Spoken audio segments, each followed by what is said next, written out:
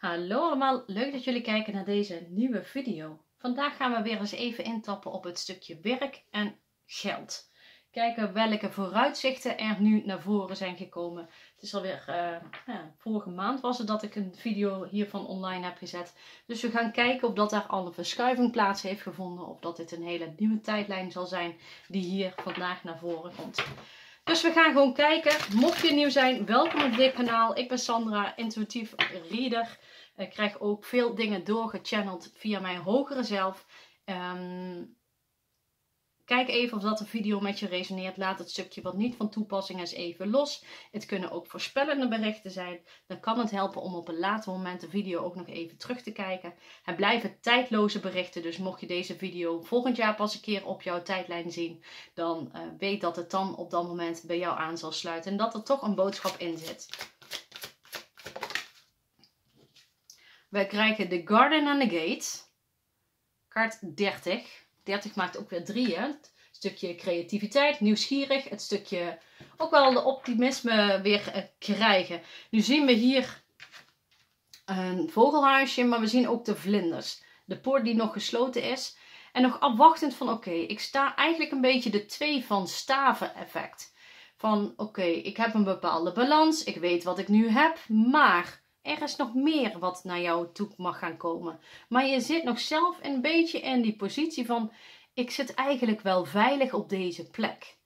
En met veiligheid bedoel ik van dat het misschien om financiële um, ja, inkomsten gaat, hè, dat het een bepaalde stabiliteit geeft. Of dat je uh, ja, misschien nog niet voor jezelf durft te beginnen, omdat het ja, toch best wel wat vragen met zich meebrengt. Maar je bent aan het transformeren. Nu is één vlindertje weer terug aan het vliegen naar het thuishonk. En de andere is wel de wijde wereld in aan het vliegen. Dus het is aan jou welke keuze je maakt. Ga jij vast blijven houden aan waar je op dit moment zit? Of ga je naar een ander stuk toe, waardoor je dus ook een nieuwe horizon kunt gaan verbreden?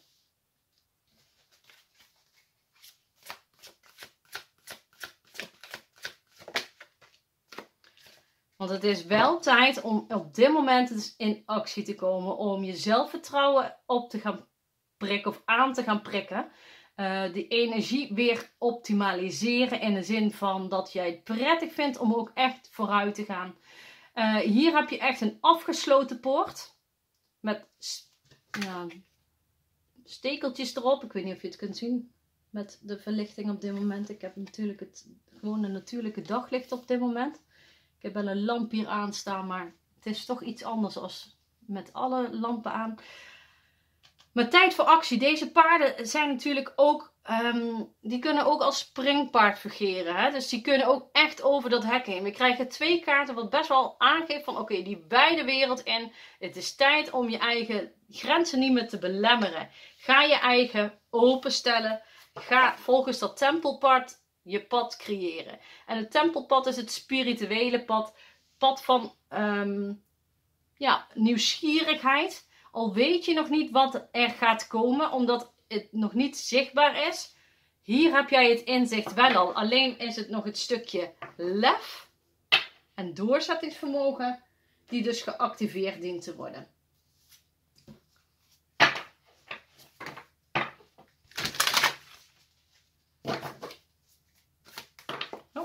Vliegt er echt al heel snel uit. De waarheid. Dus de waarheid voelt voor mij ook wel dat jij oprecht gaat kijken en vooral voelen aan jezelf. Ben ik nog in een positie waar ik blij ben? Of wil ik die horizon gaan vernieuwen vanuit liefde en ja, wijsheid die ik al in me heb zitten? Nu voelt het zo dat jij heel veel kennis hebt. En deze kennis mag jij de wijde wereld in gaan brengen. Maar het is ook een stukje vrijheid wat jij um, wil gaan creëren. Misschien um, voel jij nu op dit moment dat je wel vastzit waar je op dit moment werkt. Maar dat het wel een bepaalde financiële vrijheid geeft. Maar is dat wel zo? Of is het geen dat als jij ook jouw hart gaat volgen, dat het dan jouw vrijheid ook op een hele andere frequentie gaat aanbieden? Nu pak ik nog een engelenboodschap en die leg ik even nog aan de zijlijn. Die lees ik op het eind even voor. Dan pak ik, oh, nou, ik was nog niet aan het shuffle. Eén kaart alsjeblieft.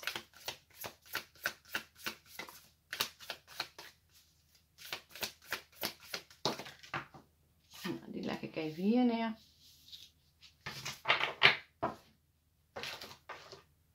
Pak eens even de tarot erbij en we gaan eens even kijken wat er aan toegevoegd mag worden.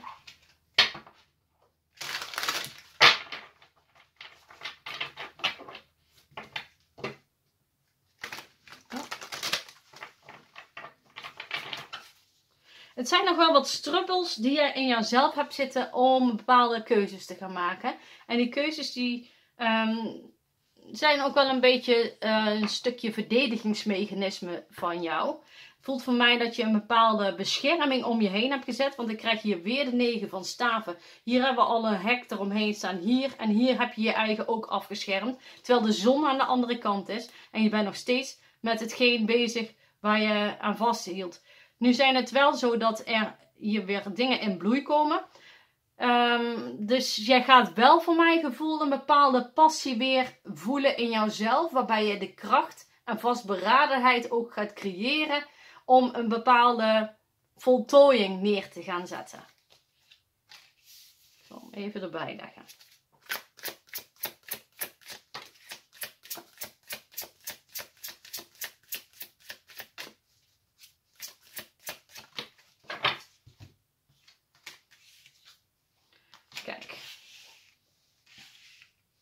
Want op dit moment ben je nog iets niet aan het doen waar jij gelukkig van bent of wordt. En zit er dus ook een stagnatie in deze energiestroom. We krijgen hier normaal, namelijk de, de chariot op kop. En we krijgen de ridder van munten op kop. Met de chariot is kreeftenergie. Dus een stukje uh, leren ook de controle los te laten. Stukje zelftwijfel zit daar uh, een stukje bij. En als we dan gaan kijken naar de ridder van munten op kop, is het ook wel een stukje van. Um, ja, hoe kan ik. een stukje luiheid om nu door te pakken. Het klinkt heel lullig, maar het is wel. Ik voel echt een stukje luiheid. Maar het universum gaat vanzelf een beetje ingrijpen. Dat kan dus betekenen, mocht je dus op een locatie zitten wat dus niet voor jou bestemd is, dat er in één keer vanuit um, ja, een brief komt van oké, we moeten um, mensen laten gaan omdat uh, het bedrijf loopt niet lekker of weet ik veel wat. Um, of er komt een nieuwe functiemogelijkheid waar je op kunt solliciteren. Of um, er komt in één keer een advertentie op je pad van een heel ander ja, werkelement waar je in één keer zoiets hebt van, oh dat is leuk, dat zou ik best wel een keer willen proberen. Dus het is wel dat er inzichten gaan komen. En het hoeft niet altijd zijn van oké, je wordt ontslagen of dit of dat. Het kan ook zijn dat je zelf stappen gaat maken om ontslag in te dienen. Maar het is wel zo dat het universum een beetje mee gaat helpen. Want het heeft te lang geduurd. En het is nu tijd om door te pakken. Het is tijd om jouw godinnenenergie te activeren. En vanuit daar ook echt zoiets hebben van oké, dit kan ik creëren.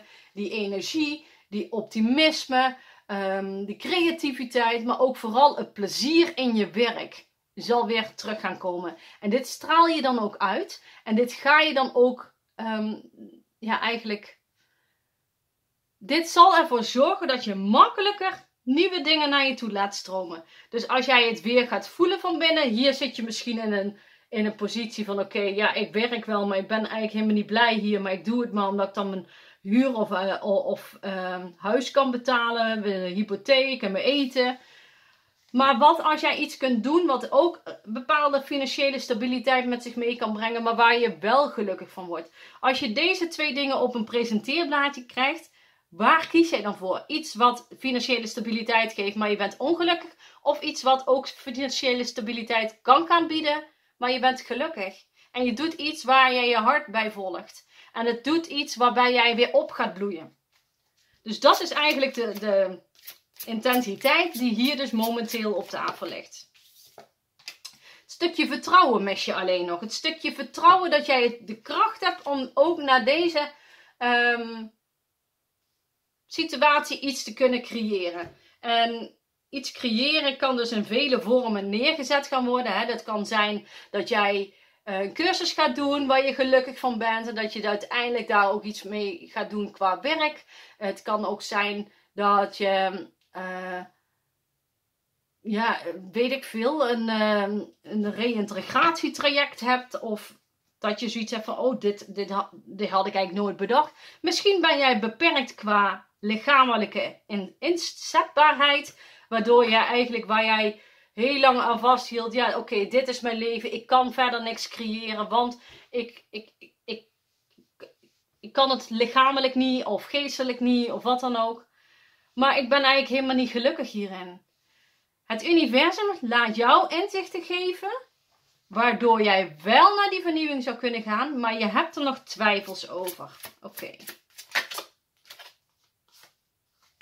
Dat heeft te maken omdat heel veel andere mensen jou omlaag hebben gepraat of hebben gezegd van ja, maar lukt dit wel? Kun je dit wel? Uh, maar dit kan ook zeker jouw energie zijn van ik kan het niet, ik, me lukt het niet, ik heb die kwaliteiten niet. Er wordt iets nieuws aangeboden. Het is wel belangrijk dus nu ook je oude emoties daarin los te gaan laten. Naar binnen keren, toen ik het dek wilde pakken, zojuist voordat ik startte met de tarot, zagen we ook al de Hermit voorbij komen. Die lag onder de 9 van staven. Balanskaart en eh, herstel. Dat is dus wat er nu gaat komen. Ik pak er nog een tijdlijntje bij. En dan gaan we even nog kijken wat er in het positieve zin kan veranderen. Als jij dus jouw hart gaat volgen. En de juiste stappen gaat maken. Dan ga jij inzien, oké, mijn pad is misschien niet altijd makkelijk. Maar als ik een doel ga stellen in een positieve zin en dus niet alleen maar vanuit negativiteit of denkwijze die je omlaag trekt. Maar echt van oké, ik kan het, ik weet waar ik nu naartoe moet. En zolang ik maar een pad blijf volgen, stap voor stap, dan kan ik iets gaan creëren. Um, die volle maan die uh, verlicht het pad duidelijk. Het is alleen aan jou om ook te leren inzien en leren ervaren wat de tekenen zijn die naar jou toe komen. Stel dat dit een advertentie is of iemand praat ergens over en jij voelt intern, oh, oh, dat is leuk en je krijgt er een warm gevoel van binnen. Oké, dan is het dus iets waar jij op aanslaat. En als je ergens op aanslaat, dan is dit in de positieve zin. En als jij daarop door gaat pakken, dan kunnen we dus iets gaan creëren. En ook jij kunt weer meer creëren en krijgt nieuwe mogelijkheden op je pad. Als je dus ook inziet van oké, ik heb misschien lichamelijke problemen. Of ik zit eraan vast dat ik um, alleenstaande ouder ben. En ik moet dit en ik moet dat. En anders kan ik het financieel niet meer. Ehm, maar als jij elke keer thuis komt om voor de kinderen te zorgen vanuit je werk. En je hebt met zo'n zo zo zo ja, vermoeid gezicht en dat je eigenlijk met tegenzin bent gaan werken, kun je toch ook niet meer in de volle glorie van je kinderen genieten. En wat is dan belangrijker? Is dan echt het totale financiële plaatje belangrijk? Dat je elke keer met je kinderen bijvoorbeeld naar de bios kunt of naar de dierentuin of wat dan ook? Of dat je kinderen misschien iets minder krijgen, maar wel een gelukkige papa zien. En dit in hun energieveld ook kunnen herinneren als hun later groot zijn. En dan zul je ook merken dat het niet altijd om de dingen gaat die je doet met je kinderen. Of, ehm, of dat je nou jonge kinderen hebt of oudere kinderen of wat dan ook. Daar gaat het absoluut niet om. Het gaat erom dat je het vanuit liefde doet. En vanuit liefde ook in contact blijft met hun. En als jij de liefde niet meer op werkvlak voelt, hoe kun je dit dan overbrengen om de mensen om jou heen? En heb je geen kinderen of heb je geen partner, dan kan dit natuurlijk ook te maken hebben met uh, familieleden om je heen. Of collega's of wat dan ook. Want als jij het niet leuk op je werk hebt en dit uit je in jouw energieveld en dat is dan voelbaar voor een ander om jou heen, dan trek je eigenlijk hun energie ook omlaag, omdat hun dus met iemand te maken hebben die het werk niet leuk vindt. Terwijl hun het misschien ontzettend leuk vinden om te doen, haal jij, ondanks dat jij er niet bewust van bent, toch de energie bij hun ook omlaag omdat ze elke keer met jou geconfronteerd worden. En als jij daarin een keuze maakt en een beslissing neemt om trouw te blijven aan jezelf. En vanuit daar dus ook de energie omhoog te houden. En vooral ook zoiets te hebben van: oké, ik kan wel een bepaalde verandering creëren. Ehm, dan kun je een burn-out of wat dan ook, ook voorkomen. Want het is wel zo dat jij gebukt gaat anders onder de situatie. En niet alleen jij, maar ook de anderen waarmee jij te maken hebt in het werkveld. Nu krijgen we ook de magier met de 9 van bekers en de 9 van munten. In combinatie met de 6 van zwaarden, de vertrekkaart. We hebben hier dus best wel wat um, stabiliteit wat weer neergegeven wordt. Maar ook wel in de zin van: oké, je bent ergens niet meer. Um, je, je hebt je plafond bereikt.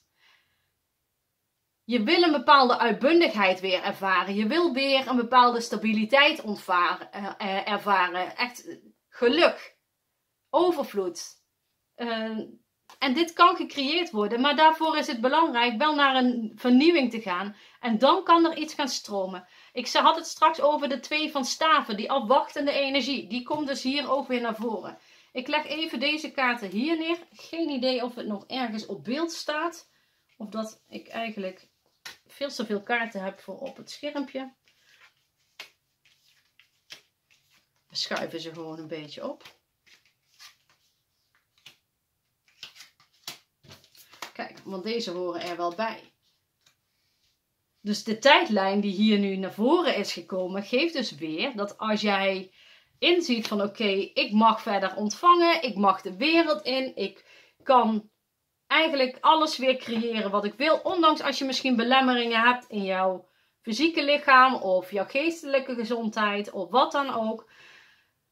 Er zijn altijd, als jij iets met passie doet en het universum ondersteunt je daarbij, kan het dus zomaar zijn dat dat meer succesvol zal zijn, ook op financieel vlak, om ja, stabiliteit weer terug te krijgen, als waar je op dit moment zit. Um, want we hebben hier overvloed, we hebben hier elementen waarbij jij eigenlijk niet heel veel moeite hoeft te doen, of misschien niet zo heel veel uren meer hoeft te werken, maar wel hetzelfde resultaat zult behalen met waar je op dit moment zit, omdat jij jouw zielspad bewandelt, omdat jij het vanuit jouw hart bewandelt. En dat is het grote verschil met ergens uh, niet gelukkig zijn en ergens wel weer gelukkig zijn. Dus er is een keuzemogelijkheid die jij dient te maken, alvorens je dus dit ook in werking gezet kunt krijgen. Maar de positieve eigenschappen liggen hier. Er wordt gecommuniceerd, je hebt de kwaliteiten en je, het is nu alleen aan jou Ga ik gebukt onder deze situatie of durf ik ook daadwerkelijk dat diepe in te springen en mijn magische intenties ook neer te gaan zetten en te manifesteren vanuit die hogere trillingsenergie, echt vanuit mijn hartchakra, uh, waarbij ik dus echt het interne vlammetje weer op laat bloeien. Maar we gaan eens kijken wat er als laatste kaart nog bij komt. We hebben kristal. Blijf hoopvol en heb vertrouwen, want er daagt iets nieuws dat heel positief is aan de horizon. En dat je nu nog niet. En, eh, en dat is wat je nu nog niet kunt zien. Kijk. Dus al heb je misschien het idee van. Kijk, we hebben het hier over horizon. Daarom pak ik die kaart ook altijd in het begin van de reading. En leg ik hem gelijk om. Want het is altijd wel als bevestiging van bam. Kijk maar, we hebben het hier over je horizon verbreden. Vanuit je hartchakra de elementen in gaan zetten.